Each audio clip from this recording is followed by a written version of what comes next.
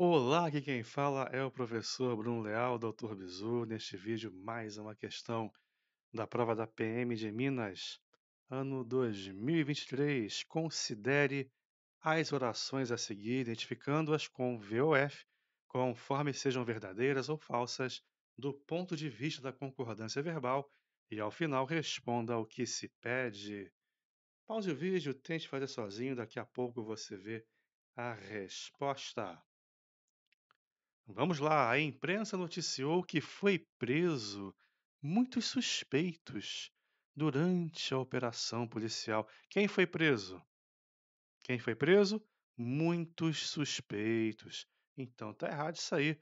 A imprensa noticiou que foram presos muitos suspeitos, ok? Então, a primeira sentença está errada. F, portanto.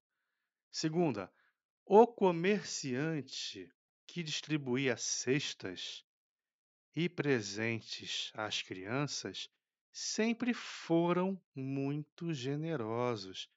Quem sempre foi muito generoso? O comerciante, ok? Repare o núcleo do sujeito no singular. O comerciante sempre foi muito generoso. Falso, portanto. Os 80% que ajudaram a eleger o síndico participaram da festa no clube. Quem ajudou a eleger o síndico? Olha o artigo, olha o artigo. Os 80%. E quem participou da, da festa? Os 80%. Correto. Verdadeiro, portanto, o terceiro item. Último item.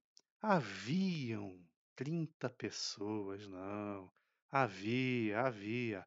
Haver no sentido de existir não tem sujeito e fica no singular. Havia 30 pessoas, correto?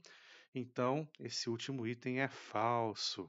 Sendo assim, o gabarito só pode ser a letra D de dado, FF, VF.